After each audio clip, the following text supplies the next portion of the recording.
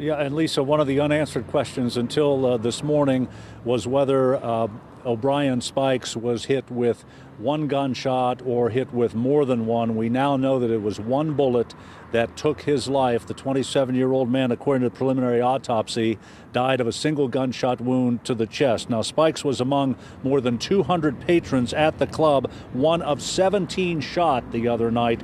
Two others remain hospitalized in critical condition. Their names have yet to be disclosed by police, who are not yet certain if any of the people wounded were involved in the gunfire.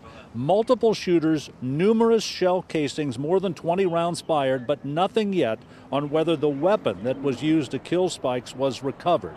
The sheer number of people there at the time, tracking as many down as possible, makes this a time consuming 24 7 investigation, and police are getting calls and information and are asking again for not only eyewitness accounts, but any cell phone video from that night, either before, during, or afterwards.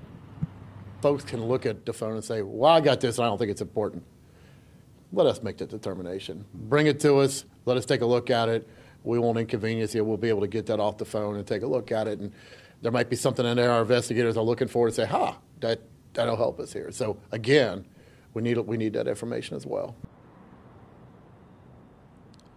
And no suspect or suspects identified yet. And it is not just a matter of identification. Police have to have enough to go on to build a case. So they need witness accounts and eyewitness accounts and people with the courage to contact them and step forward. There is a witness support program that's available if there is some fear involved on people who may know something. There's anonymous tips you can make through Crime Stoppers. They're getting some help, but they tell us they want and need more. Live at District 1, John London, WLWT News 5. Okay.